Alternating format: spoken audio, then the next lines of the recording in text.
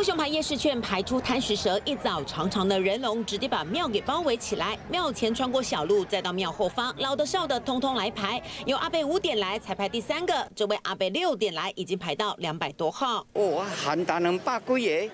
哎，我看四五百嘛有。排队人潮多夸张，看看停车场全部塞满人，一圈又一圈，绕到后面排到民宅前，有人自己带椅子来，纸板也拿来，排到脚酸，直接坐地上。等到九点钟准时发券，问题又来了。我一个三间农没有。三间盖几分了哈？我有盖章嘞，所以嘞。好，等一下。现在有二件加和长官说有就有，来。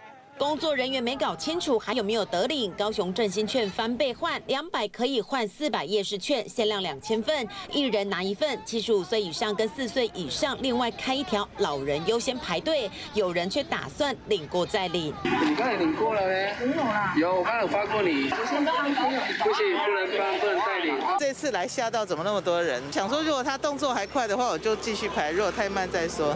是蛮可惜的啦，因为他每个场次只有两。千张那也没有办法。